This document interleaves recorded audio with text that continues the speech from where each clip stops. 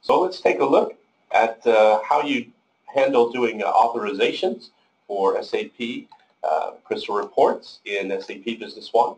Uh, if we take a look here uh, at SAP Business One, I do have it open, and we'll expand it on the screen.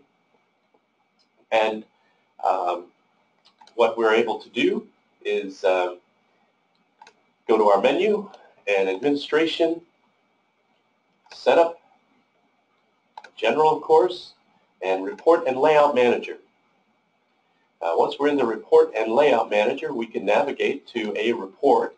This is where you manage all of the reports within SAP Business One, of course. And once we're uh, located to a crystal report, for instance, I'm going to locate one in here.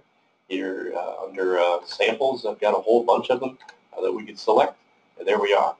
Now, you'll notice that when you're in this window, of course, um, the button, once you select a crystal report, um, allows you, you'll notice I've selected on a report that's not a crystal report, uh, but with a crystal report, I can actually set the authorization right from this screen. So if I click the Set Authorization button, it takes me immediately to the authorization screen.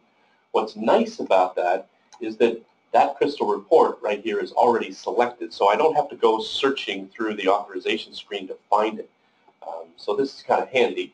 And then, of course, I can see all of my users, and I can select any particular user. Here's the manager, and you see the manager has full authorization to run this report.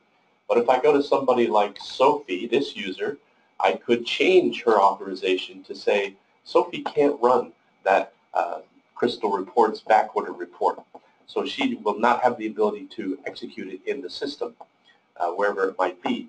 So I'm going to go ahead and set no authorizations here for Sophie. Right? And in this screen, I'm going to click Update.